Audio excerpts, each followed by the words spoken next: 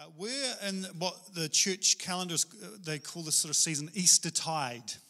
And as Ryan pointed out, uh, it's a bit weird to celebrate the resurrection of Jesus for one Sunday after 40 days of, uh, of Lent and abstinence and repentance and fasting and all the things. And so um, Easter tide is kind of the season where we just explore the uh, implications of the resurrection of Jesus and we're going to do that this morning. And, and especially in light of what the, uh, our youth were sharing this morning, I want to explore that. Um, Eugene Peterson, who's probably you know my favorite favorite dead saint, Saint Eugene, Saint Eugene of Montana. Uh, he, he's written a number of wonderful books, but he just really uh, had amazing ministry, reigniting really the pastoral imagination for, for pastors, but uh, just a brilliant mind. And he wrote a book called Practice Resurrection. Which is an interesting thought, right? Like, what does it look like for us to practice resurrection? To like participate with God in the new life that's bursting into the world. Uh, he wrote this he says, When we practice resurrection and continuously enter, uh, we continuously enter into what is more than we are. When we practice resurrection, we keep company, company with Jesus, alive and present, who knows where we are going better than we do, which is always from glory to glory. So, another way of, uh, of unpacking this potentially is, is this idea what does it look like for us to stay at Easter camp? What does it look like for us to be a Easter camp people who just are encountering God and whose lives are getting transformed from glory to glory?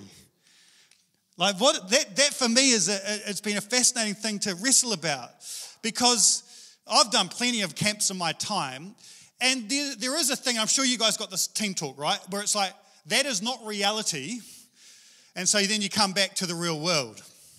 And it's like not fun because your parents are super annoying still, right? Apart from Eli's. So it's like, you know, you've just got this whole dynamic going on.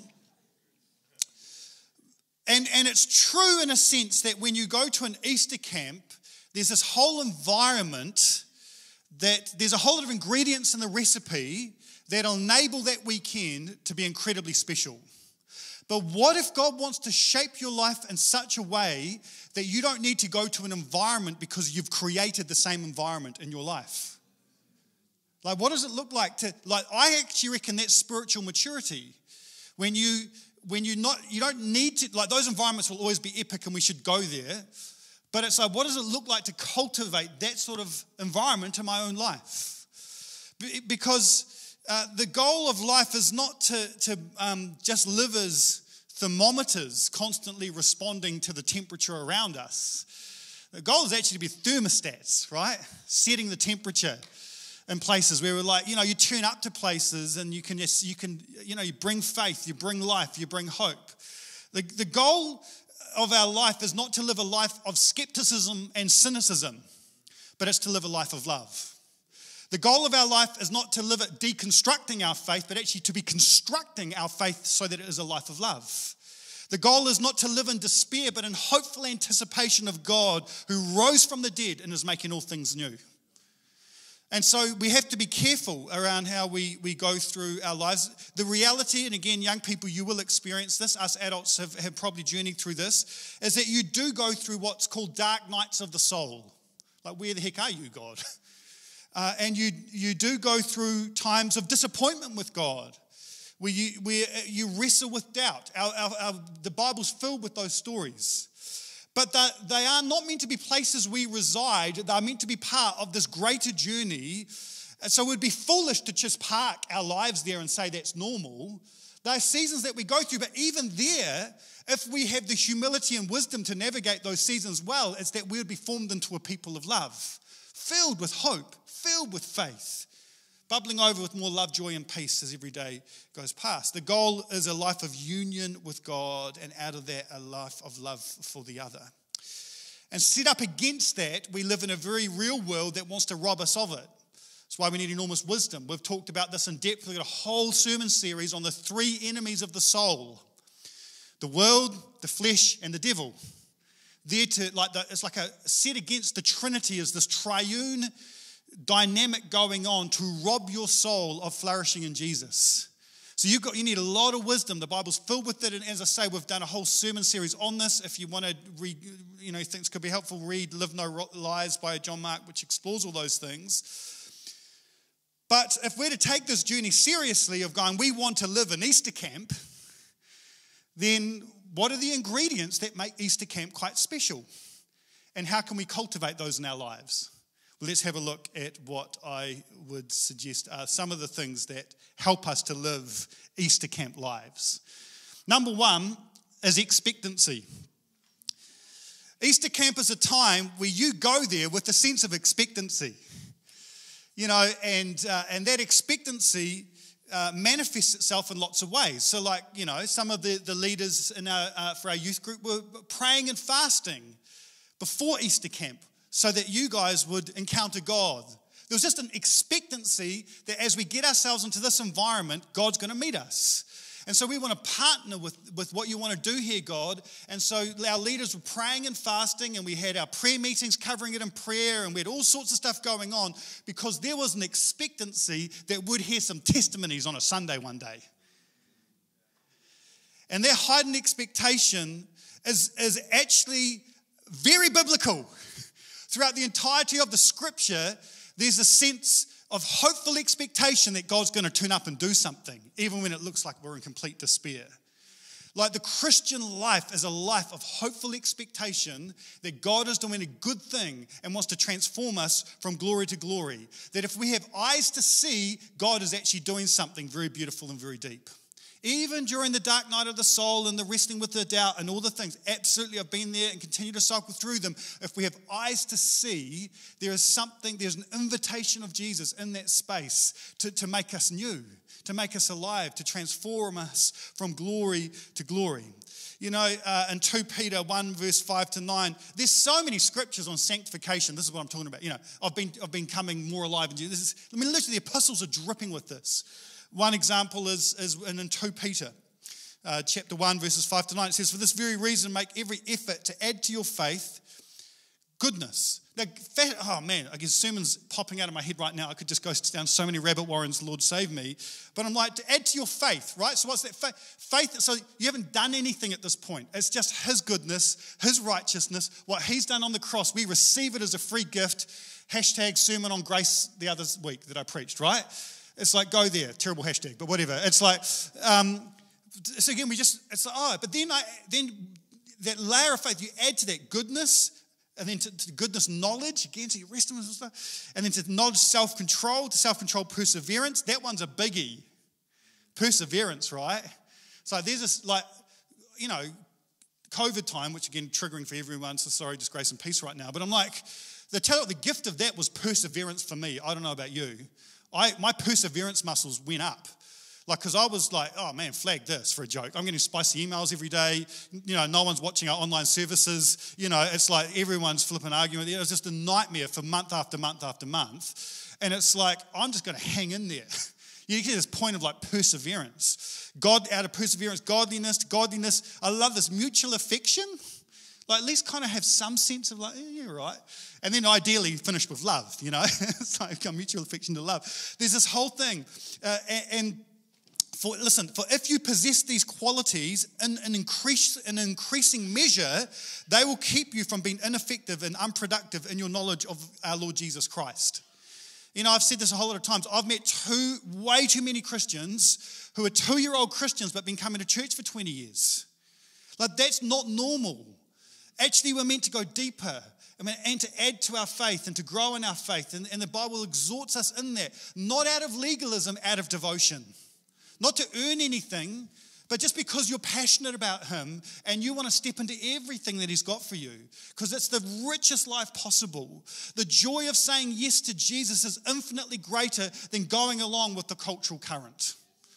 Infinitely greater as we choose Him. And so, uh, so there's this invitation to have an expectation.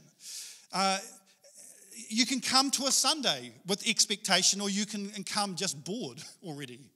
just going through the motions. You can uh, come to our prayer meeting with a sense of expectation. You can turn up to your home church or your worship or our worship. All of that. I'm like, let's have an expectation in our church. God wants to meet us.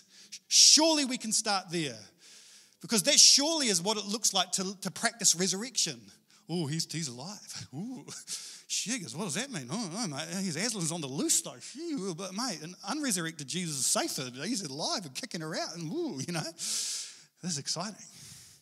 Having a sense of expectation. And this is why, even as we go into our 21 days of, of prayer and fasting, I'm like, why don't we have a high expectation that God wants to meet us in the prayer room? God wants to meet us as we pray and fast. God wants to meet us as we gather together and, and invite the Holy Spirit to fill us afresh as we do a whole series on the Holy Spirit. Like, let's have an expectation that God wants to meet us. How boring is the Christian life otherwise? Are you seriously happy just to be where you are today and that's it? I'm not.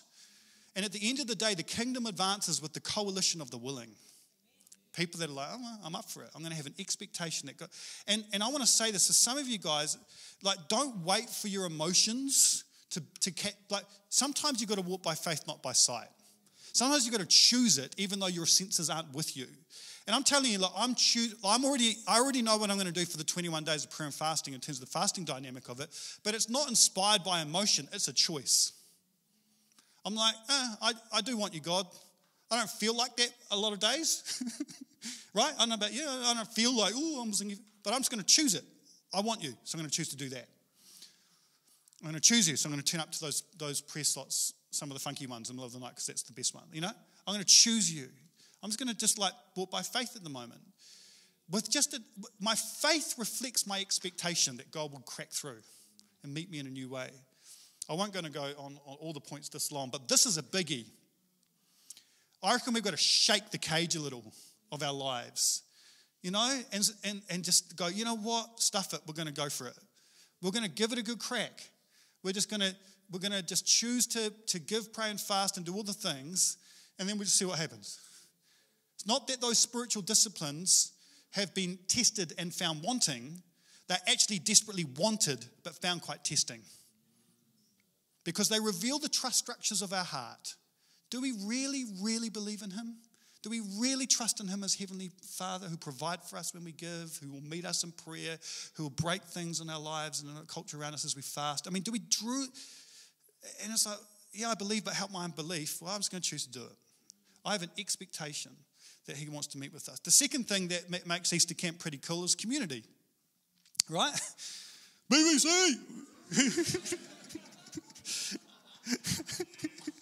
right? So the hashtag memories and you know all the rest of it. It's like I love it.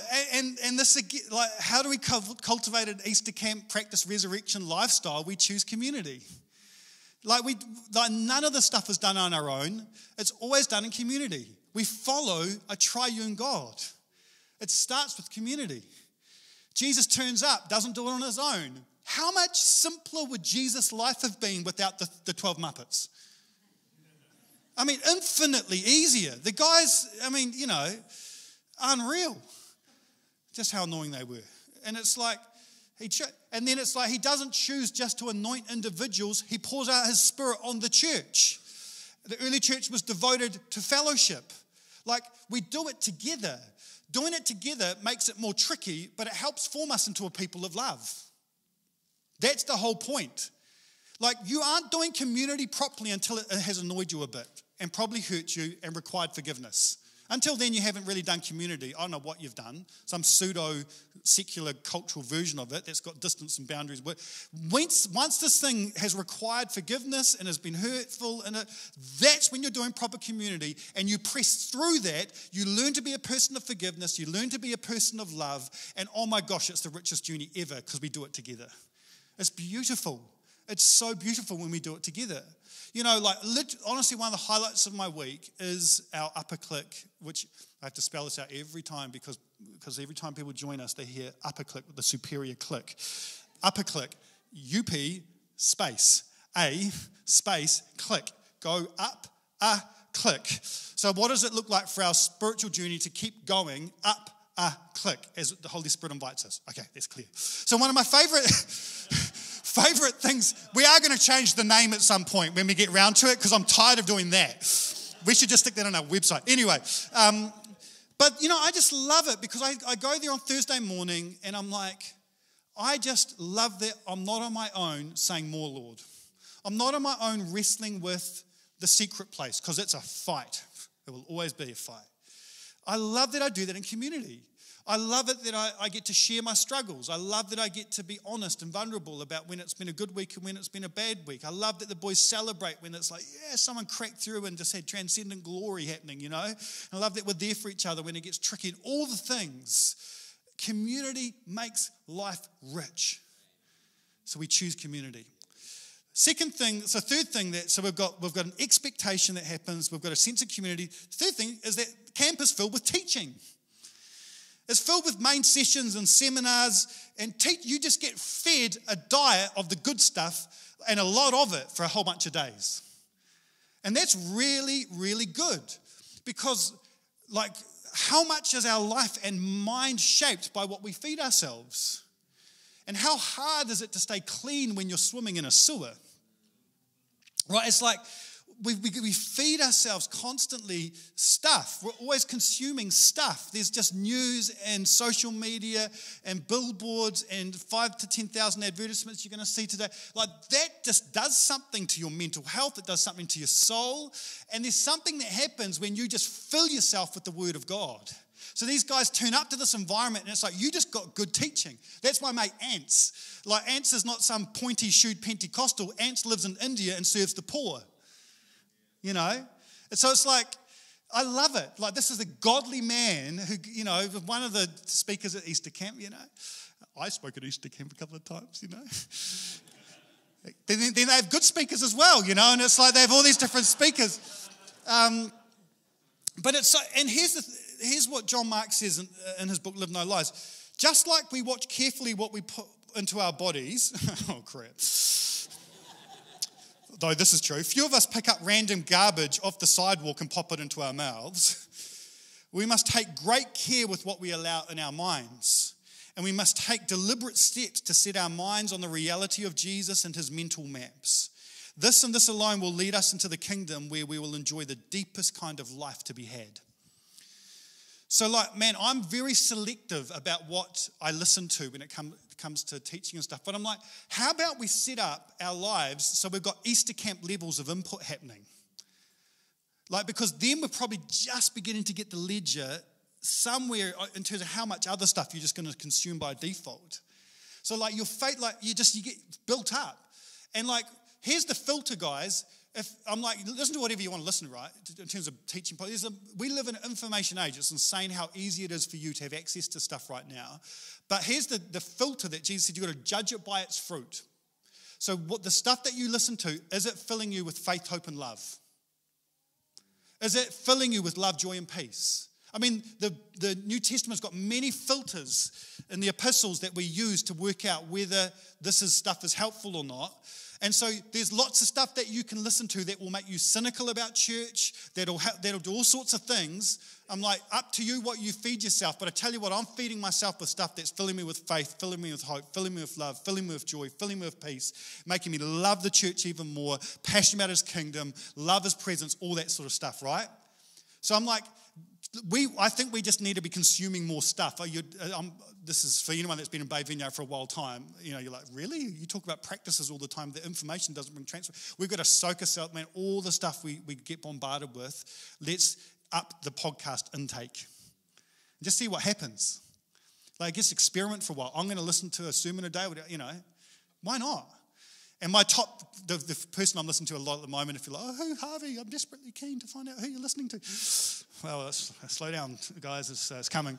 No, but my, my, because again, I'm super selective about what I consume these days. I get sent heaps of stuff. But um, Jon Tyson, Pastor Jon Tyson from Church of the City, is my favorite at the moment.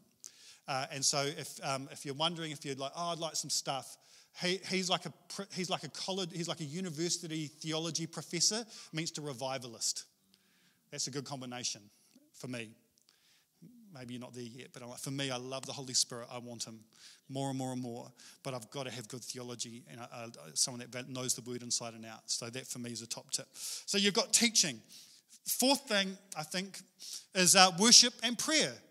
So what happens at Easter camp? Multiple times a day, you have prayer and you have worship. Uh, and again, you're just in this environment where you're just enjoying Him, blessing Him, drawing near to Him. Wasn't that just a lovely worship time this morning? And it's like, you know, we think that we go through life and we're in reality, but then you come into his presence and there's a whole other reality that we engage with that's actually the real world, where his presence is close. So, oh, this is who.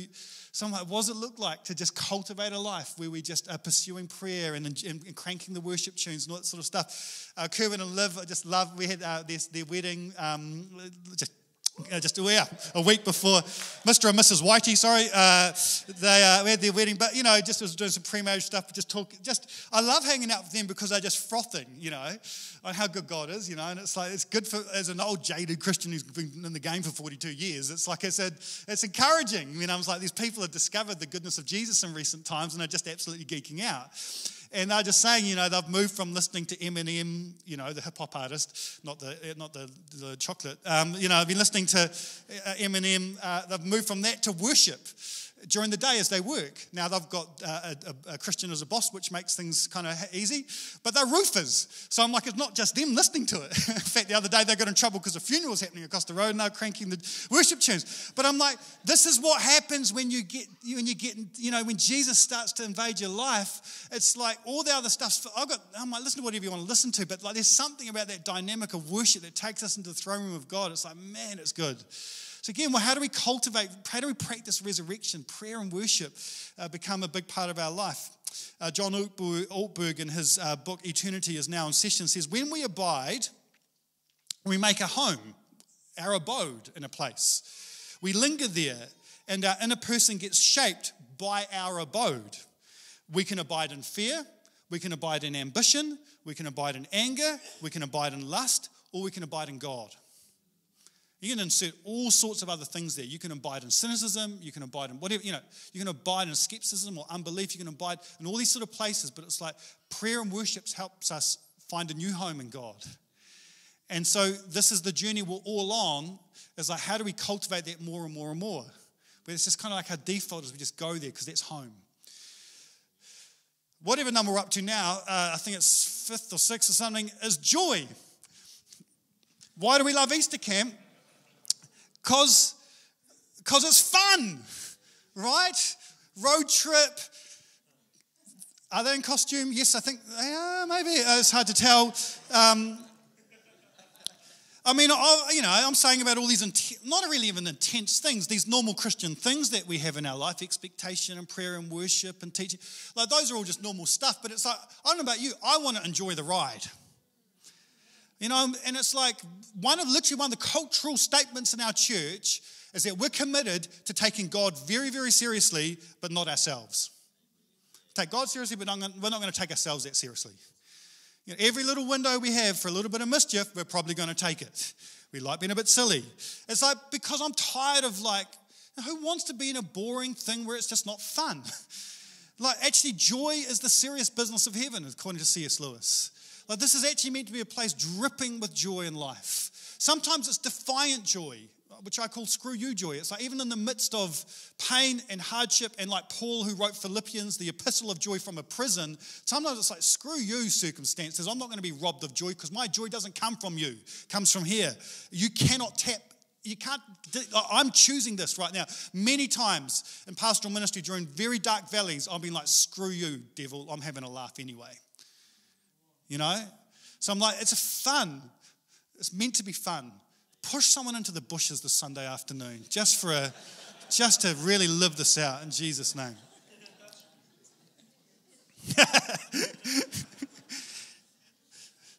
That'd be mean if, if you're Big Terry here. Oh, you will get you will get in tr- you will get in trouble because that uh, that's flirting with the legal lines actually. So yeah, that cane will be coming out in a second. I'm going to have a fun walk to the car after church, aren't I? I'm just kidding. I'm just seeing the time. All right, we're going to come into lamb real quick. Here's above all this stuff. Here's my thing. I reckon, uh, and this this is less a unique thing to Easter camp, but I think it's crucial to the spiritual development of the church in the West, and that's this humility.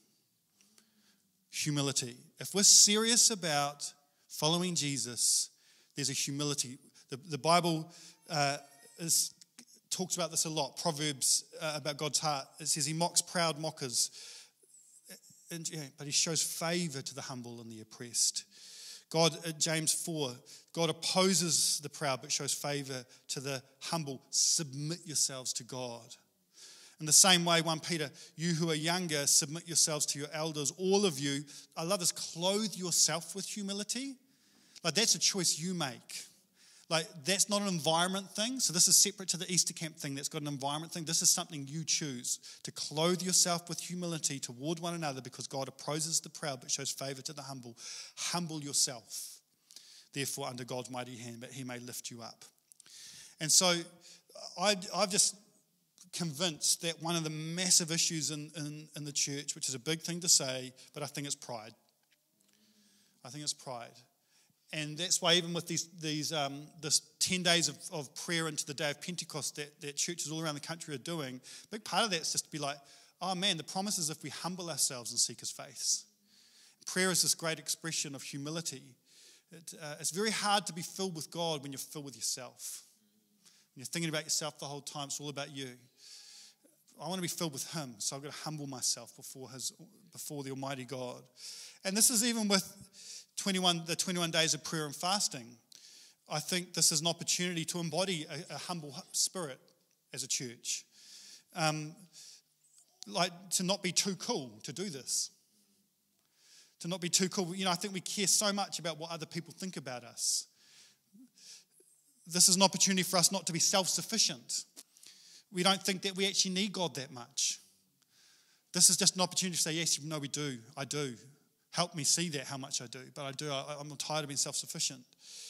it helps us to, to not be the boss anymore of our lives. We love being in charge and control of our lives, but this is us yielding and humbling ourselves before God and saying, I want to relinquish control. Fasting in particular uh, opens me up to the reality of my weakness so that I can experience His grace more and more. It's like I'm, I choose to be weak. I choose to be weak so that I can know your strength and your grace and your presence more and more. Uh, and so uh, I think we want to break the pride of what other people think. We want to acknowledge our need for God. We want to yield to his lordship. We want to bow the knee before the king. And, and ultimately, I think we want to learn what it looks like uh, to mature in our faith so that we are thermostats cultivating a life filled with the ingredients that make Easter camp so special, but we're choosing them and we're choosing to cultivate our life with them. And here's what I want to say to you guys as much as that was an amazing weekend, I'm telling you now, after being in the game many, many times, because I remember going to, to my first Easter camp and all the rest of it, what I'm preaching is not just theory. It's something you can live. And I'm telling you, I have moments where I feel like I'm at Easter camp and I'm just in my backyard on my own. Or times I come here and it's like, oh man, I'm just, it's the same, it's the same God. He's in the room again. You know, like you, we can cultivate an experience where daily we're experiencing what we experienced over that weekend. So don't ever think it's just because of that environment. It's not because of the environment, it's because of the God of that environment. And He wants to meet with you as we cultivate a life of maturity that see us choose to have these ingredients in our life expectation, doing it with others, worship and prayer, and teaching, and having a lot of fun on the ride, but ultimately a heart of humility that says yes to Jesus. Yes to Jesus whenever He invites us.